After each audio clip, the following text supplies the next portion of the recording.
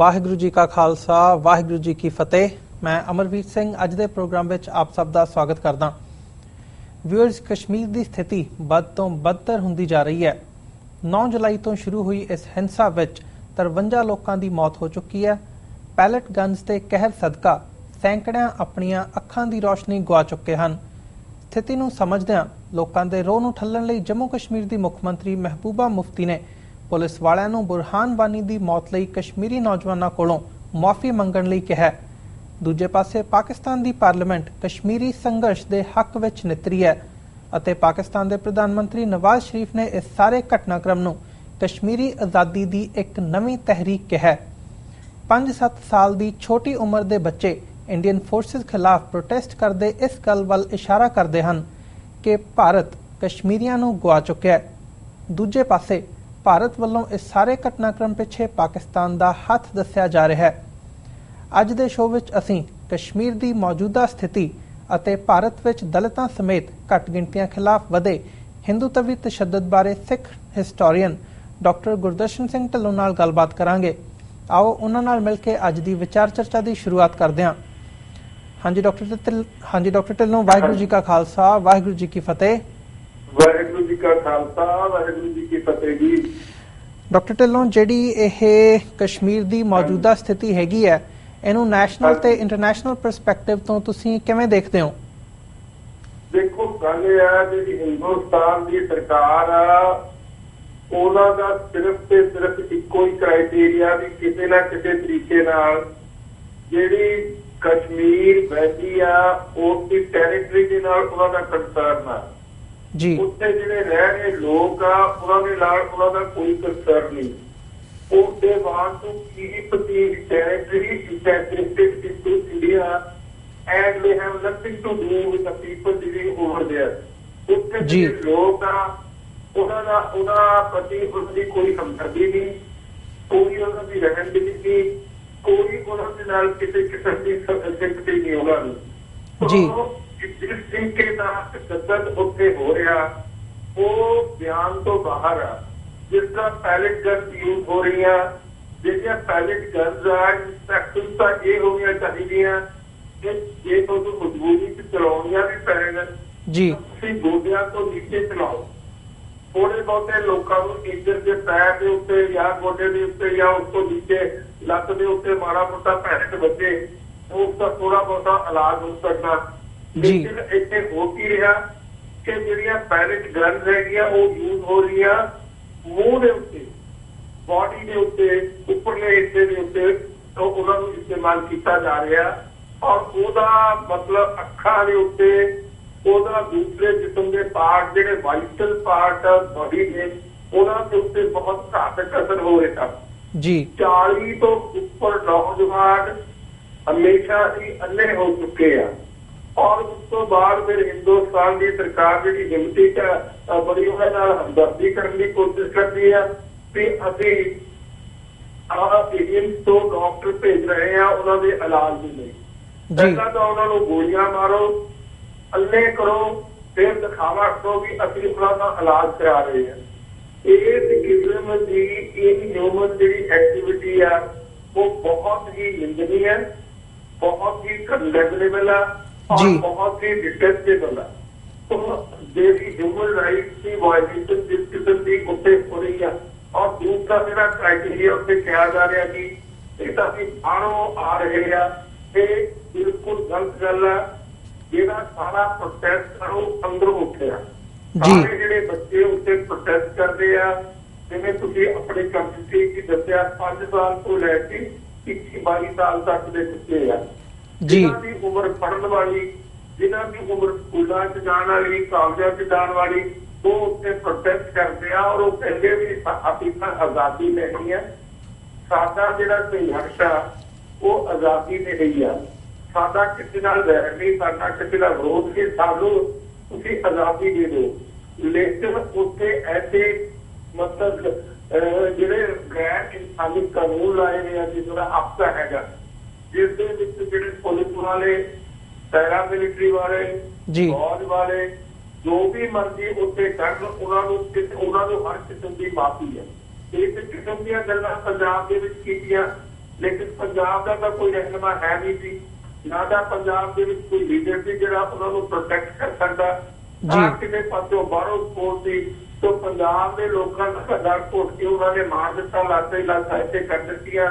ਔਰ ਅਹ, ਦੂਸਰੇ ਪਾਸੇ ਲੇਕਿਨ ਕਸ਼ਮੀਰ ਦੇ ਵਿੱਚ ਉਹਨਾਂ ਦੀ ਹਮਦਰਦੀ ਹੈ ਪਾਕਿਸਤਾਨ ਦੇ ਲਈ ਪਾਕਿਸਤਾਨ ਦੀ ਪਾਰਲੀਮੈਂਟ ਨੇ ਵੀ ਉਹਨਾਂ ਨੂੰ ਇੰਡੋਰਸ ਕੀਤਾ ਵੀ ਉੱਥੇ ਜਿਹੜੀਆਂ ਜ਼ਾਤੀਆਂ ਹੋ ਰਹੀਆਂ ਉਹ ਬੜੀਆਂ ਮਤਲਬ ਸੀਰੀਅਸ ਕਿਸਮ ਦੀਆਂ ਹਿਊਮਨ ਰਾਈਟਸ ਵਾਇਲੇਸ਼ਨਸ ਆ ਔਰ ਜੀ। ਉਹ ਆਜ਼ਾਦੀ ਦੀ ਲੜਾਈ ਆ ਉਹ ਨਵਾਂ ਸੰਘਰਸ਼ ਹੈ ਇਸ ਕਿਸਮ ਦਾ ਤੋਂ ਉਹਨਾਂ ਦੇ ਕੋਲ ਕੋਈ ਹਥਿਆਰ ਨਹੀਂ ਹੈਗੀ ਜਿਹੜੇ ਪ੍ਰੋਟੈਸਟ ਕਰਦੇ ਆ ਉਹ ਸਿਰਫ ਤੋਹਮ ਪ੍ਰੈਕਟਿਸ ਕਰਦੇ ਆ ਮਾਰੀ ਮੋਟੀ। ਜਿਵੇਂ ਰੋੜੇ ਉਹ ਚਲਾ ਕੇ ਮਾਰੇ ਪਹੁੰਚ ਉੱਤੇ ਜਾਂ ਇਸ ਕਿਸਮ ਦੀਆਂ ਜਿਹੜੀਆਂ ਛੋਟੀਆਂ ਮੋਟੀਆਂ ਉਹ ਹਰਕਤਾਂ ਕਰਦੇ ਪ੍ਰੋਟੈਸਟ ਕਰਦੇ ਅੰਦਰ। ਤੋਂ ਇਸ ਕਿਸਮ ਦੀ ਜਿਹੜੀ ਚੀਜ਼ ਆ ਜਿਸ ਤਰ੍ਹਾਂ ਤੁਸੀਂ ਦੱਸਿਆ ਵਾਨੀ ਜਿਹੜਾ ਬਰਾਨ ਵਾਨੀ ਸੀ, ਉਸ ਦੀ ਜਿਹੜੀ ਕ੍ਰੀਮੇਸ਼ਨ ਦੇ ਉੱਤੇ ਮਾ ਉੱਤੇ ਯਾਨੀ 2.5 ਲੱਖ ਬੰਦਾ ਇਕੱਠਾ ਹੋਇਆ। ਜਿਹੜਾ। ਕਿ ਬੜਾ ਮਤਲਬ ਬੜੀ ਵੱਡੀ ਗੱਲ ਆ ਔਰ ਇਸ ਕਿਸਮ ਦੀ ਚੀਜ਼ ਨਾ ਪਹਿਲਾਂ ਹੋਈ ਆ ਨਾ ਮਤਲਬ ਜਦੋਂ ਹੋਇਆ ਉਹ ਇੰਨਾ ਬੜਾ ਕੱਟ ਉਸਨੇ ਸਾਰੀ ਦੁਨੀਆ ਨੂੰ ਹੈਰਾਨ ਕਰ ਦਿੱਤਾ ਤੋ ਇਸ ਕਿਸਮ ਦੀਆਂ ਸਾਰੀਆਂ ਜਿਹੜੀਆਂ ਉੱਤੇ ਹਰਕਤਾਂ ਹੋ ਰਹੀਆਂ ਔਰ ਉਹਨਾਂ ਦੀ ਦੁਨੀਆ ਦੇ ਵਿੱਚ ਇੰਡੋਰਸਮੈਂਟ ਹੋ ਰਹੀ ਹੈ ਈਵਨ ਅਮਰੀਕਾ ਵਾਲਿਆਂ ਨੇ ਅਮਰੀਕਾ ਵਾਲਿਆਂ ਨੇ ਵੀ ਪ੍ਰੋਟੈਸਟ ਕੀਤਾ ਕਿ ਇਸ ਕਿਸਮ ਦੀਆਂ ਹਿਊਮਨ ਰਾਈਟਸ ਵਾਇਲੇਸ਼ਨ ਜਿਹੜੀਆਂ ਜੰਮੂ ਕਸ਼ਮੀਰ ਕਸ਼ਮੀਰ ਤੁਸੀਂ ਕਰ ਰਹੇ ਹੋ। ਉਹਨਾਂ ਨੂੰ ਤੁਸੀਂ ਬੰਦ ਕਰੋ ਔਰ ਲੇਕਿਨ ਇਸ ਦਾ ਕੋਈ ਖਾਸ ਕਿਸਮ ਦਾ ਅਸਰ ਨਹੀਂ ਹੋਇਆ ਹਿੰਦੁਸਤਾਨ ਦੀ ਸਰਕਾਰ ਦੇ ਉੱਤੇ ਕਿਉਂਕਿ ਉਹਨਾਂ ਨੂੰ ਉੱਥੇ ਦੇ ਲੋਕਾਂ ਨਾਲ ਕੋਈ ਹਮਦਰਦੀ ਨਹੀਂ ਉਹਨਾਂ ਦਾ ਤਾਂ ਸਿਰਫ ਇੱਕੋ ਹੀ ਇੱਕ ਪੁਆਇੰਟ ਆਫ View ਹੈ ਕਿ ਕਿਸੇ ਤਰੀਕੇ ਨਾਲ ਜਿਹੜੀ ਜੰਮੂ ਕਸ਼ਮੀਰ ਦੀ ਧਰਤੀ ਆ ਉਸ ਨੂੰ ਹਿੰਦੁਸਤਾਨ ਦੇ ਨਾਲ ਲਾ ਕੇ ਰੱਖਿਆ ਜਾਵੇ ਜੀ ਡਾਕਟਰ ਢਿੱਲੋਂ। ਜਿਹੜੀ ਤੁਸੀਂ ਇਹ ਗੱਲ ਕਹੀ ਹੈ ਕਿ ਉਹਨਾਂ ਦਾ ਜੰਮੂ ਕਸ਼ਮੀਰ ਦੀ ਧਰਤੀ ਦੇ ਨਾਲ ਕੰਸਰਨ ਹੈਗਾ ਲੋਕਾਂ ਦੇ ਨਾਲ ਨਹੀਂ ਇਹਦੇ ਪਿੱਛੇ। ਤੁਸੀਂ ਕੀ ਕਾਰਨ ਸਮਝਦੇ ਹੋ ਕਿ ਜਸਟ ਧਰਤੀ ਨਾਲ ਉਹਨਾਂ ਦਾ ਕੰਸਰਨ ਹੈ ਹਾਂ, ਉਹ ਇਸ ਕਰਕੇ ਕਿਉਂਕਿ ਜਿਹੜੇ ਵੈਲੀ ਦੇ ਲੋਕ ਆ ਉਹ ਸਾਰੇ ਮੁਸਲਮਾਨ ਆ ਇਸਲਾਮ ਦੀ ਤੇ ਹਿੰਦੂਇਜ਼ਮ ਦੀ ਇਨਕਨਸੀਲੇਸ਼ਨ ਵਾਲੀ ਸਿਚੁਏਸ਼ਨ ਆ ਦੋਨੇ ਡਿਫਰੈਂਟ ਅਪੋਜ਼ ਆਈਡੀਓਲੋਜੀ ਹੈਗੀ। ਜੀ। ਇਸਲਾਮ ਤੇ ਹਿੰਦੂਇਜ਼ਮ ਇੱਕ ਦੂਜੇ ਦੇ ਖਿਲਾਫ ਧਰਮ ਹੈਗੇ ਆ ਆਈਡੀਓਲੋਜੀ ਹੈਗੀਆਂ। ਉਹਨਾਂ ਦੀ ਆਪਸ ਦੇ ਵਿੱਚ ਕੋਈ ਰਿਕਨਸੀਲੀਏਸ਼ਨ ਹੋ ਨਹੀਂ ਸਕਦੀ। ਇਸ ਕਰਕੇ ਉਹ ਕਦੇ ਵੀ ਇਹ ਐਕਸੈਪਟ ਨਹੀਂ ਕਰ ਸਕਦੇ ਕਿ ਮੁਸਲਮਾਨਾਂ ਨੂੰ ਕੋਈ ਇੱਕ ਕਿਸਮ ਦੀ ਰਾਹ ਦਿੱਤੀ ਜਾਵੇ। ਜਿੱਥੇ ਉਹ ਡੀਸੈਂਟ ਹਿਊਮਨ ਲਾਈਫ ਲੀਡ ਕਰ ਸਕਦੇ ਹੋਣ ਤੋ ਇਸ ਇਸ ਕਰਕੇ ਉੱਥੇ ਹਿੰਦੁਸਤਾਨ ਦੇ ਲੋਕਾਂ ਨੂੰ ਹਿੰਦੁਸਤਾਨ ਦੀ ਜਿਹੜੀ ਲੀਡਰਸ਼ਿਪ ਆ ਉਸ ਨੂੰ ਉੱਥੇ ਦੇ ਲੋਕ ਕਿਸੇ ਵੀ ਹੱਦ ਤੱਕ ਮਨਜ਼ੂਰ ਨਹੀਂ ਹਨ। ਜੀ। ਹਾਂਜੀ। ਡਾਕਟਰ ਢਿੱਲੋਂ ਅਸੀਂ ਹੁਣ ਕਸ਼ਮੀਰ ਦੇ ਮੁਸਲਮਾਨਾਂ ਦੀ ਗੱਲ ਕੀਤੀ ਹੈ। ਤੁਸੀਂ ਵੇਰਵੇ ਨਾਲ ਦੱਸਿਆ ਕਿ ਇਹ ਆਈਡੀਓਲੋਜੀਕਲ ਡਿਫਰੈਂਸ ਇੱਕ ਹੈਗਾ ਜਿਹਦੇ ਕਰਕੇ ਤੁਸੀਂ ਸਮਝਦੇ ਹੋ ਕਿ ਇਹ। ਪ੍ਰੋਬਲਮ ਜਿਹੜੀ ਹੈਗੀ ਹੈ ਉਹ ਚੱਲ ਰਹੀ ਹੈ ਜਦੋਂ ਅਸੀਂ। ਬਾਕੀ ਭਾਰਤ ਦੀ ਗੱਲ ਕਰਦੇ ਹਾਂ ਖਾਸ ਕਰਕੇ ਪਿਛਲੇ। ਕੁਝ ਮਹੀਨਿਆਂ ਦੇ ਵਿੱਚ ਜਿਹੜੀਆਂ ਘਟਨਾਵਾਂ ਦੇਖਣ ਨੂੰ ਆ ਰਹੀਆਂ ਨੇ ਕਿ ਕਿਵੇਂ ਗਊ ਰੱਖਿਆ ਦੇ ਨਾਮ ਹੇਠ ਦਲਿਤ ਭਾਈਚਾਰੇ ਨੂੰ ਤੇ ਮੁਸਲਮਾਨ ਭਾਈਚਾਰੇ ਨੂੰ ਖਾਸ ਤੌਰ ਤੇ ਨਿਸ਼ਾਨਾ ਬਣਾਇਆ ਜਾ ਰਿਹਾ ਹੈ। ਇਹਦੇ ਵਿੱਚ ਤੁਸੀਂ ਜਿਹੜੀਆਂ ਇਹ ਘਟਨਾਵਾਂ ਨੇ ਇਹਨਾਂ ਦਾ ਤੁਸੀਂ ਭਾਰਤ ਦੇ ਅੰਦਰੂਨੀ ਢਾਂਚੇ ਦੇ ਉੱਪਰ ਕੀ ਪ੍ਰਭਾਵ ਪੈਂਦਾ ਦੇਖਦੇ ਹੋ ਆਉਣ ਵਾਲੇ ਸਮੇਂ ਦੇ ਵਿੱਚ ਦੇਖੋ ਜਦੋਂ ਦੀ ਬੀਜੇਪੀ ਸਰਕਾਰ ਸੈਂਟਰ ਦੇ ਵਿੱਚ ਬਣੀ ਹੈ 2014 ਤੋਂ, ਜਿਹੜੀਆਂ ਹਿੰਦੁਸਤਾਨ ਦੇ ਵਿੱਚ ਘੱਟ ਗਿਣਤੀਆਂ, ਚਾਹੇ ਉਹ ਮੁਸਲਮਾਨ ਆ, ਚਾਹੇ ਉਹ ਦਲਿਤ ਆ, ਚਾਹੇ ਉਹ ਸਿੱਖ ਆ, ਇਸਾਈ ਆ, ਬੋਧੀ ਆ, ਉਹਨਾਂ ਦੇ ਵਿੱਚ ਇਨਸਿਕਿਉਰਿਟੀ ਦੀ ਫੀਲਿੰਗ ਜਨਰੇਟ ਕਰ ਦਿੱਤੀ ਗਈ ਆ। ਔਰ ਉਸ ਦੇ ਵਿੱਚ ਖੁੱਲ੍ਹਮ ਖੁੱਲਾ ਤੌਰ ਦੇ ਉੱਤੇ ਇਹ ਕਿਹਾ ਜਾ ਰਿਹਾ ਕਿ ਹਿੰਦੂ ਰਾਸ਼ਟਰ ਹੈ। ਹਿੰਦੂ ਰਾਸ਼ਟਰ ਇਸ ਦੇ ਵਿੱਚ ਜੇ ਤੁਸੀਂ ਰਹਿਣਾ ਹੈ ਤਾਂ ਸਿਰਫ ਤਾਂ ਸਿਰਫ ਹਿੰਦੂ ਰਹਿ ਹਿੰਦੂ ਬਣ ਕੇ ਹੀ ਰਹਿ ਸਕਦੇ ਹੋ। ਜੇ ਤੁਹਾਡੀ ਹੋਰ ਕੋਈ ਵਿਚਾਰਧਾਰਾ ਹੈ ਤਾਂ ਬੜੇ ਆਰਾਮ ਨਾਲ ਇਸ ਮੁਲਕ ਨੂੰ ਛੱਡ ਕੇ ਤੁਸੀਂ ਉਸ ਮੁਲਕ ਵਿੱਚ ਚਲੇ ਜਾਓ। ਜੀ। ਇਹ ਗੱਲਾਂ ਪਾਰਲੀਮੈਂਟ ਦੇ ਫਲੋਰ ਤੇ ਵੀ ਕਹੀਆਂ ਗਈਆਂ। ਇਹ ਗੱਲਾਂ ਜਿਹੜੇ ਰਿਪਰੈਜ਼ੈਂਟੇਟਿਵ ਨਾਲ ਲਾਅ ਮੇਕਰਸ ਹੈਗੇ ਆ ਮੈਂਬਰਸ ਆਫ ਦੀ ਪਾਰਲੀਮੈਂਟ ਦਾ ਲੈਜਿਸਲੇਚਰ ਦਾ ਜਾਂ ਭਾਜਪਾ ਦੇ ਆਰਐਸਐਸ ਦੇ ਬੜੇ ਕਾਰਜਕੁਲ ਹੈਗੇ।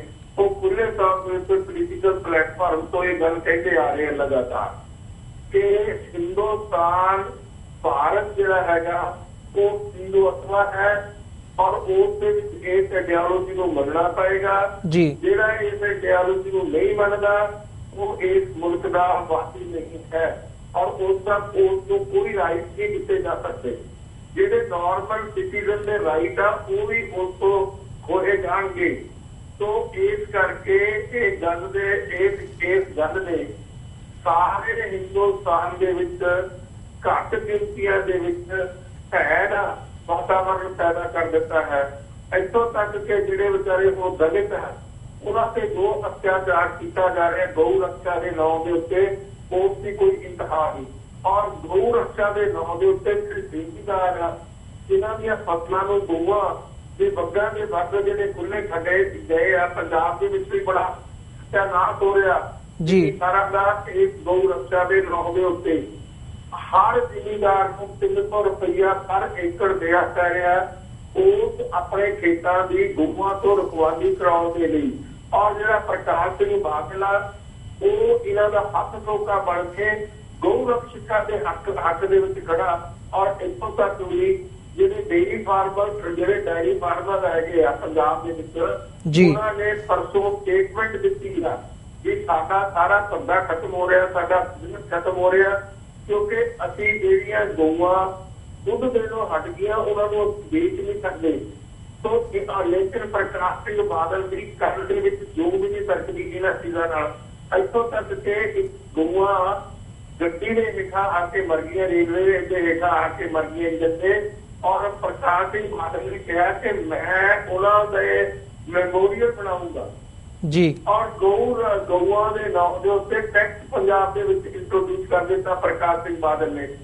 ਸੋ ਇਸ ਕਿਸਮ ਦੀ ਜ਼ਹਿਨੀਅਤ ਜਿਹੜੀ ਆ ਉਹ ਹਿੰਦੁਸਤਾਨ ਦੇ ਵਿੱਚ ਪੈਦਾ ਕੀਤੀ ਜਾ ਰਹੀ ਆ ਔਰ ਗਊਆਂ ਦੇ ਨਾਮ ਦੇ ਉੱਤੇ ਪੈਕ ਕੀਤਾ ਜਾ ਰਿਹਾ ਔਰ ਗਊਆਂ ਦੀ ਰੱਖਿਆ ਦੇ ਲਈ ਗੁੰਡਾਗਰਦੀ ਕੀਤੀ ਜਾ ਰਹੀ ਹੈ ਜਗ੍ਹਾ ਜੀ। ਗੁੰਡੇ ਇਕੱਠੇ ਕੀਤੇ ਜਾ ਰਹੇ ਆ। ਟਰੱਕਾਂ ਦੇ ਵਿੱਚੋਂ ਲੋਕਾਂ ਨੂੰ ਲਾ ਲਾ ਕੇ ਕੁੱਟਿਆ ਮਾਰਿਆ ਪਬਲਿਕ ਵੀ ਜਾ ਰਿਹਾ ਔਰ ਟਰੱਕਾਂ ਨੂੰ ਫਾੜਿਆ ਜਾ ਰਿਹਾ ਔਰ ਲੋਕਾਂ ਤੇ ਜ਼ੁਲਮ ਕੀਤਾ ਜਾ ਰਿਹਾ। ਆ ਗੁਜਰਾਤ ਦੇ ਵਿੱਚ ਜੋ ਹੋਇਆ ਉਹ ਸਾਰੀ ਦੁਨੀਆ ਦੇ ਵਿੱਚ ਵੀਡੀਓ ਆਪ ਜੀ ਨੇ ਵੀ ਦੇਖਿਆ ਹੋਣਾ। ਜੀ। ਕਿਸ ਤਰੀਕੇ ਨਾਲ ਕਿਸ ਦੁਰਦਿਸ਼ਾ ਦੇ ਨਾਲ ਉੱਥੇ ਦੇ ਜਿਹੜਾ ਦਲਿਤ ਵਰਗ ਆ ਜਿਹੜੇ ਵਿਚਾਰੇ ਖੱਲਾ ਉਤਾਰਦੇ ਆ ਗਊਆਂ ਦੀਆਂ ਉਹਨਾਂ ਦੇ ਉੱਤੇ ਇਤਨਾ ਜ਼ੁਲਮ ਕੀਤਾ ਜਿਸ ਦਾ ਤੁਸੀਂ ਇੰਤਹਾ ਹੀ ਹੋਈ ਔਰ ਜੀ, ਬਿਲਕੁਲ। ਇਸੇ ਕਿਸਮ ਦੀਆਂ ਹਰਕਤਾਂ ਸਾਰੇ ਹਿੰਦੁਸਤਾਨ 'ਚ ਕੀਤੀਆਂ ਜਾ ਰਹੀਆਂ। ਔਰ ਘੱਟ ਗਿਣਤੀਆਂ ਦੇ ਵਿੱਚ ਇੱਕ ਹੋਰ ਮਤਲਬ ਗਊਆਂ ਦੀ ਰੱਖਿਆ ਦੇ ਨਾਂ ਦੇ ਉੱਤੇ ਭੈ ਪੈਦਾ ਕੀਤਾ ਜਾ ਰਿਹਾ ਡਰ ਪੈਦਾ ਕੀਤਾ ਜਾ ਰਿਹਾ ਔਰ ਉਹਨਾਂ ਨੂੰ ਮਾਰਿਆ ਜਾ ਰਿਹਾ ਕੁੱਟਿਆ ਜਾ ਰਿਹਾ ਉਹਨਾਂ ਨਾਲ ਗੈਰ ਕਾਨੂੰਨੀ ਗੱਲਾਂ ਕੀਤੀਆਂ ਜਾ ਰਹੀਆਂ। ਇਨਸਾਨਾਂ ਨੂੰ ਤਾਂ ਪ੍ਰੋਟੈਕਟ ਕੀਤਾ ਜਾ ਰਿਹਾ। ਜਾਨਵਰਾਂ ਦੇ ਉੱਤੇ ਇਨਸਾਨਾਂ ਨੂੰ ਮਾਰਿਆ ਜਾ ਰਿਹਾ। ਜੀ। ਕਿਸਮ ਦੀ ਜਿਹੜੀ ਸਿਚੁਏਸ਼ਨ ਹੈ ਔਰ ਉਹ ਬੜੀ ਨਿੰਦਨੀय ਹੈ ਬੜੀ ਕੰਡੈਮ ਕੰਡੈਮ ਜੀ। ਡਾਕਟਰ ਢਿੱਲੋਂ ਜਿਹੜੀ ਇਹ ਗਰਾਊਂਡ ਲੈਵਲ ਦੇ ਉੱਤੇ ਸਿਚੁਏਸ਼ਨ ਤੁਸੀਂ ਬਿਆਨ ਕਰ ਰਹੇ ਹੋ ਇਹਨੂੰ ਤੁਸੀਂ ਜਦੋਂ ਐਡਮਿਨਿਸਟ੍ਰੇਸ਼ਨ ਜਾਂ ਸਰਕਾਰੀ ਪੱਖ ਤੋਂ ਦੇਖਦੇ ਹੋ ਕਿ ਇਹ ਤੁਹਾਨੂੰ ਇੱਕ ਸਮੋਕ ਸਕਰੀਨ ਲੱਗਦੀ ਹੈ ਜਿਹਦੇ ਪਿੱਛੇ ਕੋਈ ਹੋਰ ਵਰਤਾਰਾ ਕਰਨ ਦੀਆਂ ਚਾਲਾਂ ਚੱਲੀਆਂ ਜਾ ਰਹੀਆਂ ਨੇ ਜਾਂ ਇਹ ਇਹਨੂੰ ਤੁਸੀਂ ਐਵੇਂ ਦੇਖਦੇ ਹੋ ਵੀ ਜਿਹੜੀ ਸਰਕਾਰ ਹੈਗੀ ਹੈ ਟਾਪ ਕਾਡਰ ਹੈ ਉਹਨਾਂ ਦਾ ਜਿਹੜਾ ਨੀਚੇ ਵਾਲੇ ਬੰਦੇ ਨੇ ਉਹਨਾਂ ਤੇ ਕੰਟਰੋਲ ਨਹੀਂ ਹੈਗਾ। ਜਿਵੇਂ ਉਹਨਾਂ ਦਾ ਚੱਲਿਆ ਆਉਂਦਾ ਜਾਂ ਜੋ ਉਹਨਾਂ ਦੇ ਦਿਮਾਗ ਦੇ ਵਿੱਚ ਵੜਿਆ ਹੋਇਆ ਹੈਗਾ ਉਹ ਉਹਨੂੰ ਹੀ ਫੋਲੋ ਕਰ ਰਹੇ ਆ। ਦੇਖੋ ਇਹ ਸਾਰੀ ਸਮੋਕ ਸਕਰੀਨ ਨਹੀਂ ਹੈ ਇਹ ਸਾਰੀ ਰਿਐਲਿਟੀ ਹੈ।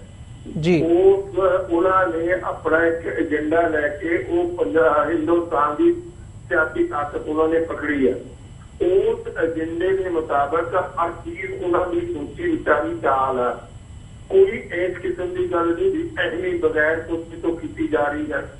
ਸੋ ਉਸ ਜਦੋਂ ਵੀ ਕੋਈ ਇਸ ਕਿਸਮ ਦੀ ਹਰਕਤ ਹੁੰਦੀ ਆ ਤਾਂ ਪ੍ਰਾਈਮ ਮਿਨਿਸਟਰ ਚੁੱਪ ਰਹਿੰਦਾ ਉਸ ਗੱਲ ਦੇ ਉੱਤੇ। ਜੀ। ਔਰ ਉਸੇ ਉਸ ਦਾ ਮਤਲਬ ਇਹ ਹੈ ਵੀ ਲੋਕਾਂ ਨੂੰ ਖੁੱਲ੍ਹ ਹੈ ਜੋ ਮਰਜ਼ੀ ਕਰਨ ਜੋ ਮਰਜ਼ੀ ਬੋਲਣ ਜੋ ਮਰਜ਼ੀ ਕਿਸੇ ਨੂੰ ਗਾਲੀ ਗਲੋਚ ਕਰਨ ਕਿਸੇ ਦੇ ਦੂਸਰੇ ਧਰਮ ਦੇ ਉੱਤੇ ਕਿਸੇ ਕਿਸਮ ਦਾ ਅਟੈਕ ਕਰਨ ਬੋਲਣ ਰਾਹੀਂ ਜਾਂ ਉਹ ਹੋਰ ਤਰੀਕਿਆਂ ਦੇ ਰਾਹੀਂ ਤੋਂ ਇਸ ਇਸੇ ਤਰੀਕੇ ਦੀ ਸ਼ੁਰੂ ਸ਼ੁਰੂ ਦੇ ਵਿੱਚ ਉਹਨਾਂ ਨੇ ਜਿਹੜੇ ਅਸਾਈਆਂ ਦੇ ਜਿੰਨੇ ਵੀ ਚਰਚ ਸੀ ਉੱਤੇ ਵੈਂਡਲਿਜ਼ਮ ਕੀਤੀ ਜੀ ਲੇਕਿਨ ਉਦੋਂ ਜਦੋਂ ਵੈਂਡਲਿਜ਼ਮ ਕੀਤੀ ਤਾਂ ਜਿਹੜੇ ਲਾਅ ਮੇਕਰ ਸੀ ਉਹਨਾਂ ਨੇ ਪ੍ਰੋਟੈਸਟ ਕੀਤਾ ਤਾਂ ਚੁੱਪ ਕਰ ਗਏ ਲੇਕਿਨ ਜਿਹੜੇ ਦੂਸਰੇ ਪਾਸੇ ਸਿੱਖਾਂ ਪ੍ਰਤੀ ਜਾਂ ਮੁਸਲਮਾਨਾਂ ਪ੍ਰਤੀ ਤਾਂ ਇਸ ਕਿਸਮ ਦੀ ਕੋਈ ਪੋਲੀਟੀਕਲ ਤਾਕਤ ਨਹੀਂ ਦੁਨੀਆ ਦੇ ਵਿੱਚ ਜਿਹੜੀ ਉਹਨਾਂ ਦੇ ਰਾਈਟ ਨੂੰ ਪ੍ਰੋਟੈਕਟ ਕਰ ਸਕੇ ਜੀ। ਇਸ ਤਰੀਕੇ ਦੇ ਨਾਲ ਸਾਰੇ ਹਿੰਦੁਸਤਾਨ ਦੇ ਵਿੱਚ ਖਾਸ ਤੌਰ ਦੇ ਉੱਤੇ ਘੱਟ ਗਿਣਤੀਆਂ ਜਿਨ੍ਹਾਂ 'ਚ ਮੁਸਲਮਾਨ ਸਿੱਖ ਔਰ ਇਸੇ ਤਰੀਕੇ ਦੇ ਨਾਲ ਜਿਹੜਾ ਵਿਚਾਰਾ ਦਲਿਤ ਵਰਗ ਆ ਜਿਨ੍ਹਾਂ ਦਾ ਕੋਈ ਹੈ ਹੀ ਨਹੀਂ ਰਖਵਾਲਾ ਨਹੀਂ ਦੁਨੀਆ ਦੇ ਵਿੱਚ ਜੋ ਉਹਨਾਂ ਦਾ ਤਸ਼ੱਦਦ ਹੋ ਰਿਹਾ ਜੋ ਜ਼ਾਤੀਆਂ ਹੋ ਰਹੀਆਂ ਉਹ ਸਾਰੀਆਂ ਸੋਚੀ ਸਮਝੀ ਚਾਲ ਦੇ ਮੁਤਾਬਕ ਹੋ ਰਹੀਆਂ ਔਰ ਉਹ ਸੋਚੀ ਸਮਝੀ ਚਾਲ ਨੂੰ ਇੰਪਲੀਮੈਂਟ ਕੀਤਾ ਜਾ ਰਿਹਾ। ਜੀ। ਡਾਕਟਰ ਢਿੱਲੋਂ ਜਿਹੜਾ ਇਹ ਤੁਸੀਂ ਗੱਲ ਕੀਤੀ ਹੈ ਕਿ ਈਸਾਈਆਂ ਦੇ ਪਹਿਲਾਂ ਮੁਸਲਮਾਨਾਂ ਦੇ ਖਿਲਾਫ ਇਹ ਸ਼ੁਰੂਆਤ ਹੋਈ ਸੀ ਤੇ ਹੁਣ ਹਾਲ ਹੀ ਦੇ। ਵਿੱਚ ਦਲਿਤਾਂ ਨੂੰ ਵੀ ਸਿੱਧੇ ਤੌਰ ਤੇ ਨਿਸ਼ਾਨਾ ਬਣਾਇਆ ਜਾ ਰਿਹਾ ਹੈ। ਤਾਂ। ਇਨ ਦੀ ਐਂਡ ਤੁਸੀਂ ਇਹ ਸਿਚੁਏਸ਼ਨ ਕਿੱਧਰ ਨੂੰ ਜਾਂਦੀ ਦੇਖਦੇ ਹੋ? ਸਾਰੀਆਂ ਘੱਟ ਗਿਣਤੀਆਂ ਵੀ ਇਹਦੇ ਚ ਇਨਵੋਲਵ ਹੋ ਗਈਆਂ। ਤੇ ਹਿੰਦੂਤਵਾ ਦੇ ਨਿਸ਼ਾਨੇ ਤੇ ਹੋ ਗਈਆਂ ਤੇ ਜਦੋਂ ਦਲਿਤਾਂ ਦੀ ਗੱਲ ਆਉਂਦੀ ਹੈ ਜਿਨ੍ਹਾਂ ਨੂੰ। ਹੇਠਲੇ ਦਰਜੇ ਦੇ ਵਿੱਚ ਹਿੰਦੂਇਜ਼ਮ ਦਾ ਹੀ ਹਿੱਸਾ ਮੰਨਿਆ ਜਾਂਦਾ ਹੈ ਤੇ ਜਦੋਂ ਉਹਨਾਂ ਦੇ ਖਿਲਾਫ ਵੀ ਇਹ ਗੱਲ ਇਹ ਸੋਚ ਭਾਰੂ ਹੋ ਰਹੀ ਹੈ ਤਾਂ ਇਹ ਸਿਚੁਏਸ਼ਨ ਕਿੱਧਰ ਨੂੰ ਜਾ ਰਹੀ ਹੈ? ਦੇਖੋ ਉਹ ਦਲਿਤਾਂ ਨੂੰ ਕਦੇ ਬਰਦਾਸ਼ਤ ਨਹੀਂ ਕਰ ਸਕਦੇ ਵੀ ਉਹ ਕਦੇ ਰਾਈਜ਼ ਕਰਨ। ਕਦੇ ਉਹਨਾਂ ਦੀ ਐਮਪਾਵਰਮੈਂਟ ਹੋਵੇ। ਉਹ ਮਾੜੀ ਮੋਟੀ ਅੱਜ ਦੇ ਹਿਸਾਬ ਦੇ ਨਾਲ ਥੋੜੀ ਬਹੁਤੀ ਉਹਨਾਂ ਦੀ ਐਮਪਾਵਰਮੈਂਟ ਹੋ ਰਹੀ ਹੈ ਹਿੰਦੁਸਤਾਨ ਦੇ ਵਿੱਚ। ਪਰ ਇਹ ਜਿਹੜਾ ਹਿੰਦੂਆਂ ਦਾ ਵੱਡਾ ਵਰਗ ਆ ਜੀ। ਉੱਚੀਆਂ ਜਾਤਾਂ ਵਾਲੇ ਆ ਜਿਹੜੇ ਉਹ ਕਦੇ ਵੀ ਇਹ ਬਰਦਾਸ਼ਤ ਨਹੀਂ ਕਰਦੇ। ਸੋ ਅੱਜ ਜ਼ਰੂਰਤ ਹੈ ਕਿ ਲੋਕਾਂ ਨੂੰ ਆਵਾਜ਼ ਬੁਲੰਦ ਕਰਨ ਦੀ ਦਲਿਤਾਂ ਦੇ ਹੱਕ ਵਿੱਚ ਕਿਉਂਕਿ ਦਲਿਤ ਹਜ਼ਾਰਾਂ ਸਾਲਾਂ ਤੋਂ ਲਤੜੇ ਹੋਏ ਆ ਕੁਚਲੇ ਹੋਏ ਆ ਤਸ਼ੱਦਦ ਸਹਾਰ ਰਹੇ ਆ ਉੱਚੀਆਂ ਜਾਤਾਂ ਦਾ। ਅੱਜ ਵੀ ਉਹ ਕਿਸਮ ਦੀ ਸਿਚੁਏਸ਼ਨ ਆ ਤੋਂ ਜ਼ਰੂਰਤ ਹੈ ਕਿ ਉਹਨਾਂ ਦੇ ਹੱਕ ਦੇ ਵਿੱਚ ਆਵਾਜ਼ ਬੁਲੰਦ ਕੀਤੀ ਜਾਵੇ ਔਰ ਉਹਨਾਂ ਨੂੰ ਹੱਲਾਸ਼ੇਰੀ ਦਿੱਤੀ ਜਾਵੇ ਕਿ ਉਹ ਆਪਣੇ ਪੈਰਾਂ ਤੇ ਇਕਨੋਮਿਕਲੀ ਖੜਨ ਔਰ ਜਿਹੜੀ ਸਾਰੀ ਸਿਚੁਏਸ਼ਨ ਆ ਉਸ ਦਾ ਐਡਵਾਂਟੇਜ ਲੈ ਕੇ ਅੱਗੇ ਨੂੰ ਵਧਣ। ਉਹ ਉਹਨਾਂ ਵਿੱਚ ਜਾਣ ਔਰ ਇਸੇ ਤਰੀਕੇ ਨਾਲ ਦੇਖੋ ਨਾ ਜੋ ਹైదరాబాద్ ਦੇ ਵਿੱਚ ਹੋਇਆ ਜਵਾਹਰ ਲਾਲ ਨਹਿਰੂ ਯੂਨੀਵਰਸਿਟੀ ਦੇ ਵਿੱਚ ਹੋਇਆ ਹੋਰ ਜਗ੍ਹਾ ਦੇ ਉੱਤੇ ਹੋਇਆ ਉਹ ਸਾਰੇ ਵਿਚਾਰੇ ਗਰੀਬ ਜਿਹੜੇ ਦਲਿਤ ਵਰਗ ਦੇ ਜਿਹੜੇ ਬੱਚੇ ਸੀ ਉਹਨਾਂ ਦੇ ਨਾਲ ਜਿੰਨੀਆਂ ਰਾਸ਼ਟਰੀ ਯੂਨੀਵਰਸਿਟੀਆਂ ਦੇ ਵਿੱਚ ਔਰ ਹੋਰ ਅਦਾਰਿਆਂ ਵਿੱਚ ਹੁੰਦੀ ਆ ਉਹ ਬੇਮਿਸਾਲ ਆ ਉਹ। ਵਿਚਾਰਿਆਂ ਨੂੰ ਕੋਈ ਰੈਕਗਨੀਸ਼ਨ ਨਹੀਂ ਮਿਲਦੀ ਕੋਈ ਉਹਨਾਂ ਦੇ ਉਹਨਾਂ ਦੇ ਉਹਨਾਂ ਦੀ ਟੇਕ ਕੇਅਰ ਨਹੀਂ ਕਰਦਾ ਕੋਈ ਉਹਨਾਂ ਨੂੰ ਪ੍ਰੋਟੈਕਟ ਨਹੀਂ ਕਰਦਾ ਬਲਕਿ ਕਾਨੂੰਨੀ ਤੌਰ ਤੇ ਉਹਨਾਂ ਨੂੰ ਦਬਾਇਆ ਜਾ ਰਿਹਾ ਸੋ ਇਸੇ ਤਰੀਕੇ ਵੈਮੁਲਾ ਜਿਸ ਵਿਚਾਰੇ ਨੇ ਖੁਦਕੁਸ਼ੀ ਕਰ ਲਈ ਮੁੰਡੇ ਨੇ ਜੀ ਇੱਕ ਸਕਾਲਰ ਜਿਹੜਾ ਉਸ ਨੂੰ ਜਦੋਂ ਵਿਚਾਰੇ ਨੂੰ ਤੰਗ ਕੀਤਾ ਗਿਆ ਤਾਂ ਉਸਨੇ ਖੁਦਕੁਸ਼ੀ ਕਰ ਲਈ ਔਰ ਫਿਰ ਬਾਅਦ 'ਚ ਕਿਹਾ ਗਿਆ ਵੀ ਇਹ ਤਾਂ ਦਲਿਤ ਹੈ ਹੀ ਨਹੀਂ ਸੀ ਸੋ ਇਸ ਕਿਸਮ ਦੀਆਂ ਹਰਕਤਾਂ ਸਰਕਾਰ ਲੈਵਲ ਦੇ ਉੱਤੇ ਮਿਨਿਸਟਰ ਦੇ ਲੈਵਲ ਦੇ ਉੱਤੇ ਕੀਤੀਆਂ ਜਾ ਰਹੀਆਂ ਜਿਹੜੀਆਂ ਲੰਗੇ ਚਿੱਟੇ ਤਰੀਕੇ ਦੇ ਨਾਲ ਡਿਸਕ੍ਰਿਮੀਨੇਸ਼ਨ ਆ ਤਸ਼ੱਦਦ ਆ ਔਰ ਲੋਕਾਂ ਨੂੰ ਪੈਕੇਜ ਕਰਨ ਦੀ ਇੱਕ ਪਾਲਿਸੀ ਹੈ ਇੱਕ ਸਟ੍ਰੈਟਜੀ ਜੀ। ਡਾਕਟਰ ਢਿੱਲੋਂ ਇਹ ਸਾਰੀ ਸਿਚੁਏਸ਼ਨ ਦੇ ਵਿੱਚ ਜਦੋਂ ਅਸੀਂ ਸਿੱਖ ਪਰਸਪੈਕਟਿਵ ਤੋਂ ਦੇਖਦੇ ਹਾਂ ਤੁਸੀਂ ਸਿੱਖ। ਹਿਸਟੋਰੀਅਨ ਹੋਣ ਦੇ ਨਾਤੇ ਸਿੱਖ ਕੌਮ ਨੂੰ ਕੀ ਸੁਜੈਸਟ ਕਰਦੇ ਹੋ ਤੇ ਸਿੱਖ ਲੀਡਰਸ ਨੂੰ ਕੀ ਸੁਜੈਸਟ ਕਰਦੇ ਹੋ ਕਿ ਸਾਨੂੰ ਕੀ ਕਰਨਾ ਚਾਹੀਦਾ ਹੈ? ਦੇਖੋ ਤੁਸੀਂ ਸਿੱਖ ਲੀਡਰ ਦੀ ਗੱਲ ਕੀਤੀ ਹੈ ਸਿੱਖਾਂ ਦਾ ਤਾਂ ਲੀਡਰੇ ਕੋਈ ਨਹੀਂ। ਸਿੱਖ ਤਾਂ ਵੇਲੇ ਟੋਟਲੀ ਲੀਡਰਲੈਸ ਕਮਿਊਨਿਟੀ ਹੈ ਜੀ।